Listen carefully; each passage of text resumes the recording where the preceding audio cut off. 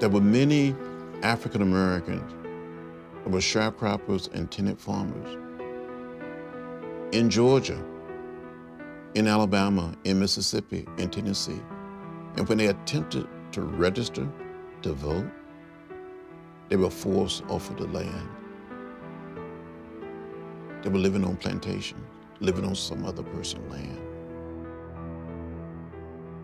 You can help people fight for their rights, but when they don't have a base, when they don't have something that they own and they get kicked off the property, that's a really, really, really tough position.